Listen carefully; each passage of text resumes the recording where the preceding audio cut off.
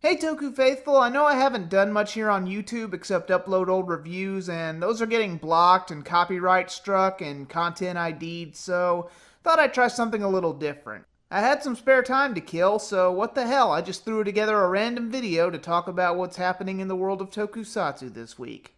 Maybe this'll be a new thing, I don't know. We'll see. Indie Toku, Ninja Ichiban. This is the third act from the Fujiyama Ichiban series. I gotta say, I've been loving this show so far. For those who haven't seen it yet, you should really check it out. Michi Yamato, who's worked on Bioman and several Saban shows behind the scenes, and his Samurai Action Studio have really captured the feel of a Saban Ameritoku show that would air on Saturday morning. When there were still Saturday morning cartoon blocks. And I look forward to what they come up with next. Toys. San Diego Comic Con exclusive toys from Bandai of America. I gotta say, I did not see the Dino Chargers coming, and I think that was a good idea. I know a lot of us wish that Bandai of America would move beyond Mighty Morphin, but in this case I'd make an exception. Then there's the gold and black Saba.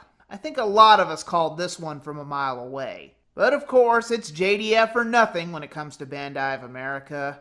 Convention news. Gao Red's actor is going to appear at G-Fest. Originally they wanted Yukijiro Hotaru, but his work schedule got in the way. So now we have Noboru Kaneko taking his place. I really wish I could make this convention, but it's great that more Toku actors are coming stateside. I hope this entices him to go to some Ranger related conventions, because I would love to meet him. Fan subs Drive and Gaim Movie War Full Throttle. Overtime just subbed this movie, so check it out if you've been wanting to see it. From what I've been seeing, there's some hilarious back and forth between the two riders. Movies Kamen Rider Drive Surprise Future. Apparently, instead of another alternate world, this one will involve time travel. From what they've shown, the new car in Dark Drive looks pretty awesome. Almost like if Ecliptor was a Kamen Rider. Ninninger, the Dinosaur Lord Technique. This involves the team going to a sacred village that only ninjas can go to. I wonder if the Kaku Rangers and Hurricanegers have been there.